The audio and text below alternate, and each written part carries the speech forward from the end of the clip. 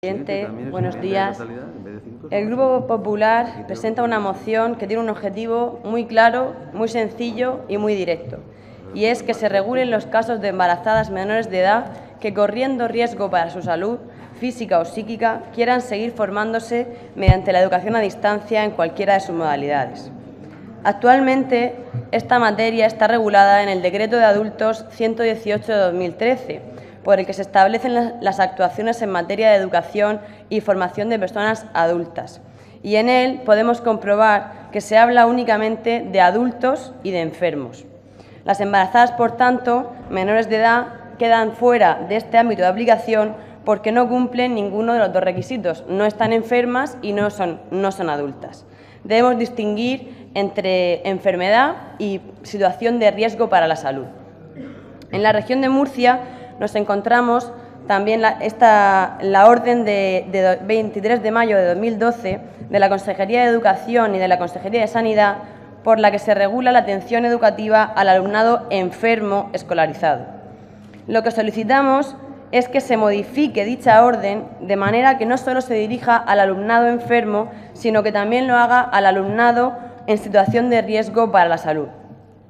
Por otro lado, también pedimos que se estudie la posibilidad de que la educación que reciban durante este tiempo venga de la mano de sus propios profesores del centro, ya que sería mucho mejor porque las conocen bien, hacen que tengan más relación con sus compañeros y aunque es una novedad, creemos que muy positiva y bastante necesaria en este sentido. Con la iniciativa que presentamos, lo que pretendemos es que ninguna chica que quiera seguir formándose no puede hacerlo por tener que guardar reposo en casa o por padecer cualquier dificultad psicológica para ello. Sin modificar la orden, podría darse el caso de que los padres pidan la educación a distancia para su hija embarazada y que, aunque, aunque, presente el justificante médico, se encuentre que no pueden dársela porque, como hemos dicho, no es una enfermedad estar embarazada. Así que, mm, en cuanto a la enmienda a la totalidad que ha presentado el Grupo Socialista, la verdad es que me sorprendió bastante recibirla porque yo seguía creyendo que hay emociones que no tienen lado malo, los miren de un lado o de otro. No tenía absolutamente nada de negativo. Es cierto que sí es posible que a veces uno cuando lee la moción por primera vez pues no le quede claro o no entienda muy bien la finalidad de, de la misma, pero si lo que hay es una duda, es tan sencillo como llamar al compañero y que se la solucione o esperarse al Pleno para, para ver efectivamente a qué se refiere. Pero ustedes han preferido presentar una enmienda a la totalidad y desde luego quiero pensar que ha sido porque no lo han entendido bien, porque si no es complicado de creer que no estén a favor de, que queramos regular este caso. De todos modos, ya adelanto que no, no la vamos a aceptar y le explico ahora mismo por qué. Como muy bien dice usted en su enmienda y como acabo de explicar yo, estar embarazada no es una enfermedad, por tanto se contradice cuando posteriormente dice que no es necesario regularlo aunque admite que no está enfermo. Hay un vacío legal que es el que queremos cubrir. Tampoco es cierto, como dice, que está regulado el apoyo constante y continuado de los profesores, porque aunque efectivamente pueda haberlo, y seguro que lo hay, regulado no está. Entonces, tiene mucho sentido presentar la moción y, desde luego, lo que no lo tiene es su enmienda. Por otra parte, cualquiera que lea o escuche lo que, lo que dice su enmienda y seguramente ahora repita, pese a que le acabo de explicar que no tiene sentido, cuando dice que las vamos a alejar de su entorno, que no las vamos a ayudar, que todo lo contrario, que parece que las queremos perjudicar, poco más o menos que las obligamos y además como si fuese algo que queremos hacer algo malo para ellas. Les recuerdo que es una posibilidad que le damos en caso de que esté enferma, o sea, de que esté que corra riesgo para su salud y de que lo único que queremos es ayudarlas a que tengan bien claro y bien concreto el texto legal al que se hace referencia. La finalidad, como le he dicho, es muy fácil y es que queremos ayudarlas, a aquellas embarazadas menores de edad que, tengan esta situación tan, tan delicada, para que no se encuentren ninguna negativa en caso de querer educarse a distancia. Pero le hago hincapié, si ellas quieren, si lo deciden, si así lo desean, nadie quiere obligar aquí a nada y mucho menos complicarle la vida en ningún sentido. Queremos que tengan los mismos derechos que los demás alumnos y que, por supuesto, no sea un perjuicio estar embarazada y tener esa dificultad. El Grupo Parlamentario Popular y el Gobierno regional trabaja día a día para dar respuesta a lo que nos piden los ciudadanos, para que no haya ningún tipo, como decía, de laguna legal y para que nadie pueda verse en una situación de desamparo.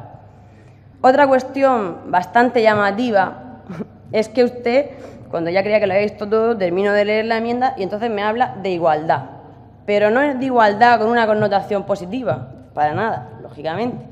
Me habla en una connotación negativa. Y aquí yo ya termino de sorprenderme y de ratificarme en que no ha entendido la, la moción. Espero que ahora sí. Habla de derechos iguales para hombres y mujeres, habla de la ley de igualdad estatal, habla de políticas activas de igualdad y una serie de cuestiones que desde luego somos los primeros que compartimos y que trabajamos en ellas. Pero mm, siento decirle que poco tiene que ver con ayudar a las embarazadas jóvenes en riesgo para su salud para que estudien a distancia. Ahora, si lo hubiera hecho con una connotación positiva, claro que podríamos hablar de igualdad, porque efectivamente gracias a esta moción, ninguna chica, por el hecho de ser mujer, por el hecho de estar embarazada y por el hecho de encima tener riesgo para su salud, va a dejar, de tener, va a dejar los estudios por ese motivo. Entonces, gracias a esta moción se elimina una desigualdad, pero no como usted lo pinta, poco más o menos, que es que esto fomenta la desigualdad y que esto es una medida discriminatoria, porque llega a decir la palabra discriminación. Entonces, yo quisiera que me dijera la señora Moreno la discriminación, ¿dónde la ha visto? Pues yo sí, sé cuál, cuál es. La más natural que existe, que los hombres no se quedan embarazados, las mujeres sí. Pero díganme ustedes dónde está la discriminación, no la veo por ninguna parte. Entonces, precisamente queremos evitar eso y usted le da la vuelta de una forma que de luego tiene una capacidad impresionante y, y, no sé, se lo creerán y todo. Como le digo, la peor discriminación la, la tendríamos si no aprobáramos esta moción en caso de que pudiéramos facilitar que se diera alguna situación en la que una mujer encontrara una dificultad por estar embarazada. Esta moción pretende lo contrario. Ahora tienen una oportunidad de verdad de votar una moción que sí es un claro ejemplo de igualdad real y efectiva, porque lo que hace es que no haya ninguna diferencia entre hombres y mujeres en ese sentido. Si de verdad quieren actuar eh, en políticas de igualdad, votenla, les pido que reflexionen, les pido que la retiren, porque aunque usted dice que está regulado, no lo está. Yo no, no, niego que efectivamente por la buena voluntad de los profesores se esté haciendo, pero regulado no está.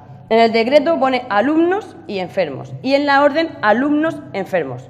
Entonces, dígame usted si estar embarazada es una enfermedad. Lo que pedimos creo que tiene mucho sentido y que aunque ya se haga, queremos concretarlo para que no haya nunca ninguna situación de duda en esta en este, eh, materia. Gracias, señor presidente.